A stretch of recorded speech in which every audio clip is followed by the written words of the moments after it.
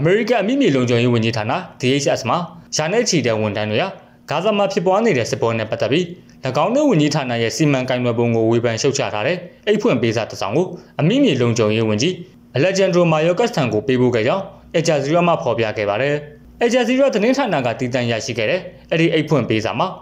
အောက်တိုဘာ9ရက်ကစတင်ဖြစ်ပွားခဲ့တဲ့ Israel Hamas စစ်ပွဲအတွင်း ဂါဇာမှာပါလက်စတိုင်း18000ကျော်တည်ဆုံခဲ့မှုအတွက်အတိအမှတ်ပြုခြင်းထောက်ခံခြင်းဝမ်းနည်းကြောင်းဖော်ပြခြင်းအစရှိတဲ့ထုတ်ပြန်ချက်တွေကိုထုတ်ပြန်ခြင်းမရှိခဲ့တဲ့အတွက်စိတ်ပြက်ကြောင်းဖော်ပြထားပါတယ်။ဂါဇာကမ်းမြောင်ဒေသမှာဖြစ်ပွားနေတဲ့စိုးရတဲ့လူသားချင်းစာနာထောက်ထားမှုဆိုင်ရာအကြက်အသေးနဲ့အနောက်ဘက်ကဒေသကအခြေအနေတွေကိုဝင်ကြီးဌာနအနေနဲ့နီလန်ပေါင်းစုံနဲ့ပုံမှန်တုံ့ပြန်ဆောင်ရွက်ရပါမယ်လို့အဲ့ဒီအိတ်ဖွင့်ပေးစာမှာဖော်ပြခဲ့ပါတယ်။ဒါပေမဲ့လက်ရှိအချိန်ထိ DHS ခေါင်းဆောင်တွေကဒုက္ခသည်စခန်းများစေယုံများလူနာတင်ရင်များနဲ့ အရက်သားများအပေါ်ဘုံကျဲနေတဲ့ဖြစ်စဉ်ကိုလျှစ်လျူရှုတာကြောင့်အဲ့ဒီပေးစာမှာဖော်ပြခဲ့ပါတယ်။အဲ့ဒီအိတ်ဖွင့်ပေးစာကို DHS နဲ့အကောက်ခွန်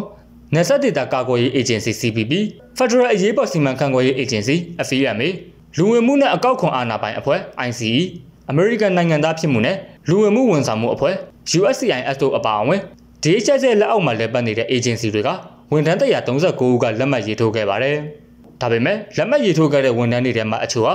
လုပ်ငန်းခွင်မှာဖိနှိပ်ခံရမယ့်အရေးကိုစိုးရိမ်မှုကြောင့်အမိမဖော်လူသူများအဖြစ်သာလက်မှတ်ရေးထိုးခဲ့ကြပါတယ်။ DHS အနေနဲ့ဂါဇာအရေးနဲ့ပတ်သက်ပြီးမျှတပြီးဟန်ချက်ညီမှုရှိတဲ့ထုတ်ပြန်ချက်တွေကိုထုတ်ပြန်ဖို့နဲ့စိုးရိမ်ကြောင်းကြမှုမရှိဘဲစံတထုတ်ဖော်မှုများပြုလုပ်ဖို့အဆိုပါပေးစာမှာတိုက်တွန်းခဲ့ပါတယ်။အဲ့ဒီအကြောင်းအရာနဲ့ပတ်သက်ပြီးမှတ်ချက်ပေးဖို့အဂျာဇီရာသတင်းဌာနရဲ့တောင်းဆိုမှုကို DHS ကတုံ့ပြန်ခဲ့ခြင်းတော့မရှိပါဘူး။